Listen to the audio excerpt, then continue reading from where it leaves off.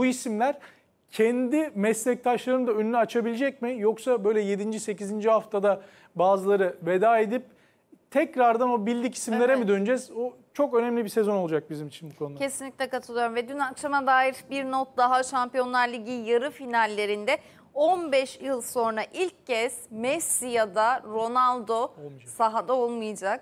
Ee, bu Messi ve Ronaldo sevenler için de e, enteresan bir Şampiyonlar Ligi yarı finali olacak. Nagelsmann e, ikisinden de genç. Böyle de bir durum var. İki Evet. oyuncu da Nagelsmann'dan yaşlı. E, Şimdi takımları düşmeye başladıkça ikisi de Real Madrid Barcelona'da he- kurdukları hegemonya sonrası farklı yerlere gitmek istediler. E, Ronaldo onu Real Madrid'deki durum nedeniyle daha erken yaptı. Messi de bu sezon yapabilir. Neden? Çünkü bugüne kadar aslında Messi yönetiyordu Barcelona'yı. Evet. Gelen teknik direktörler, yapılan transferler, gönderilen oyuncular bile Messi'den geçiyordu. Hani Türkiye'de olsa düşünemeyeceğimiz, ortaya büyük kavga çıkaracak bir durum. Messi de artık başka bir e, heyecana, başka bir lige geçebilir diye düşünüyorum. Peki ligimize dönelim, transfer haberlerimize dönelim efendim. Fotomaç gazetesinin Galatasaray sayfasına bir bakalım. Kale Fatih'e emanet. Dün ilk kez Aspor ekranlarında paylaştığımız e, Galatasaray'ın kaleci arayışı Fatih transferiyle noktalanacak gibi görünüyor. Artık resmi açıklamayı bekliyoruz. Galatasaray Muslera'nın boşluğunu Kasımpaşa'dan Fatih Öztürk'le doldurdu demiş Fotomaç gazetesi. 33 yaşındaki file bekçisi Sarı Kırmızılıların isteğini gerçekleştirerek bonservisini aldı ve boşa çıktı. Sağlık kontrollerinden geçen tecrübeli eldivenle 1 artı 1 yıllık anlaşıldı. Fernando Muslera'nın en az 6 ay daha oynayamayacağı için kaleye takviye yapmak isteyen Galatasaray aradığı ismi Kasımpaşa'da buldu. 33 yaşındaki file bekçisi Fatih Öztürk dün Sarı Kırmızılı kulübe katıldı. Kasımpaşa ile Sarı Kasımpaşa ile 2021'e kadar kontratı bulunan tecrübeli eldiven yöneticilerle görüşerek mukavelesini feshetti ve boşa çıktı. Galatasaray'ın bonservisini al gel isteğini gerçekleştiren Fatih ile 1 artı 1 yıllık anlaşmaya varıldı. Sağlık kontrollerinden geçen Fatih Türk Telekom stadında imzayı attı demiş. Şimdi burada şu ifade üzerinden yola çıkalım. Galatasaray aradığı ismi Kasımpaşa'da buldu. Galatasaray'ın aradığı isim Fatih Öztürk müydü?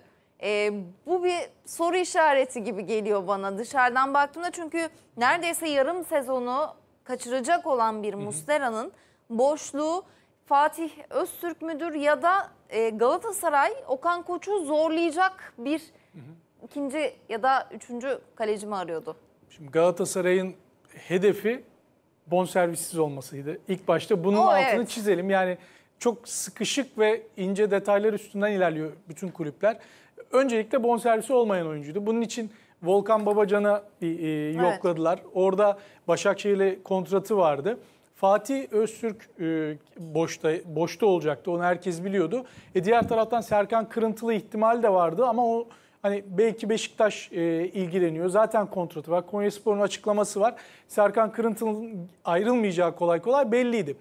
Şimdi burada Fatih Fatih Terim çok istedi. Geçen sene Akisar'dan ayrılırken transfer etmek istedi aslında. Bu sezon yedek kalecisi Fatih olabilirdi Galatasaray'ın.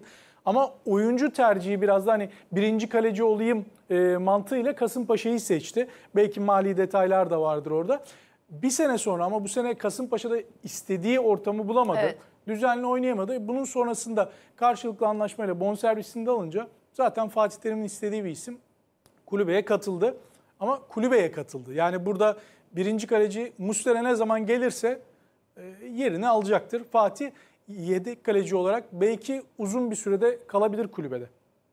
Ee, peki şöyle sorayım. Muslera'nın yokluğundaki o yarım sezonda artık Fatih Öztürk Galatasaray'ın kalecisi gibi resmi açıklamayı bekliyoruz tabii ki. O ıslak imza deriz ya her zaman çok önemli. Ee, Galatasaray'ın Muslera'nın yokluğunda kalesini koruyacak olan isim Okan mı olur Fatih? Fatih olur. Çünkü Okan e, bu sene eline geçen fırsatı e, iyi değerlendiremedi. Yediği gollerin hepsinde hatalı demiyorum asla. Öyle bir durum söz konusu değil. Takımın geldiği Evet. yer ortada zaten pandemiden sonra ama bir süre en azından Fatih o deneyimiyle Okan'ın da üstüne daha fazla yük bindirmemek adına oynayacaktır. Çünkü Okan'ı koyduğunuz zaman sahaya yediği ilk yani hatalı bile olmasa soru işareti golde bütün oklar ona yönelir Evet. ve e, Okan'ı komple kaybetme ihtimali olabilir Galatasaray'ın. Bu nedenle ben ilk başta Fatih kalede kalacaktır diye düşünüyorum. Yine Fotomaç gazetesiyle devam edelim. 7. sayfasıyla Cimbom'un Lerma inadı demiş. Sarı Kırmızılar Bournemouth'un yıldız ön liberosunu kadroya katmakta ısrarcı diyor Fotomaç gazetesi. Orta sahaya sert futbolcu isteyen Aslan'ın ilk tercihi Jefferson Lerma. 25 yaşındaki Kolombiyalı için 2,5 milyon euro bedel talep ediliyor. Galatasaray pazarlıkları sürdürüyor demiş. Yöneticiler Radamel Falcao Lerma ile iletişime geçmesi yönünde talimat verdi. Tecrübeli golcü vatandaşına Galatasaray'ı anlatırken kulübünü ikna etmesi için de tavsiyede bulundu. Oyuncunun sarı kırmızılıları tercih etmesinin Bournemouth karşısında takımın elini güçlendireceği biliniyor. Seriyi de takımda tutmak isteyen Aslan iki kiralık futbolcuyla orta sahasını kuracak. Lerma geçen sezon Premier Lig'de 33 maça çıkarken bir gol 2 asist yaptı. Geçen sezon 12 sarı kart görmüş. Şimdi Galatasaray'ın iki tane orta sahaya takviye yapması Evet. şart. Seri gitti. Seri de gitti, Lemina da gitti. E, tamamen bitti demeyelim. Hala masadalar çünkü e, nasıl uygun bonservis bulacakları meçhul. Geçen sene Seri 1,5 milyon euroya kiralanmıştı. Burada gene aynı bedeller üstünden ilerleyeceklerini düşünüyorum ama unutmayalım şunu. İki tane kiralık hatta Enzonzi de vardı. Üç kiralık orta saha Galatasaray'ın başına biraz iş açmıştı. O devamlılığı, sürekli o ambiyansı yakalayamamıştı. Yine kiralık e, zorunludur belki ama bu tekrar sıkıntı yaratabilir. Onu hatırlatayım.